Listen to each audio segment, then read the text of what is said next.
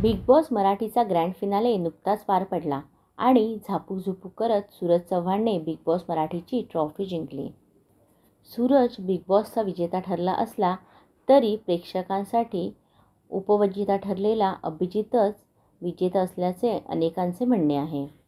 अभिजित उपविजेता ठरल्यानंतर त्याच्या फॅन्सना तर प्रचंड धक्का बसला होता. अभिजित आणि रियालिटी शो हे एक आता समीकरणच बनलं आहे. इंडियन आयडल या रियालिटी शोमुळे अभिजित सावंतला लोकप्रियता मिळाली. त्यानंतर तो नचबली या रियालिटी शोमध्ये देखील दिसला. पण बिग बॉस मराठी हा त्याच्यासाठी एक खास असल्याचे त्याचे म्हणणे आहे. त्याने आजवर अनेक रियालिटी शो केले असले तरी बिग बॉसचे त्याच्या हृदयात एक खास स्थान आहे. त्यामुळे बिग बॉस मराठीच्या घरातील एक खास वस्तू तो कायम त्याच्यासोबत ठेवणार आहे.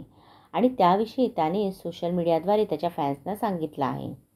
बिग बॉस मराठीच्या घरात जाताना प्रत्येक सदस्याला त्यांच्या एक नावाची पाटी देण्यात आली होती.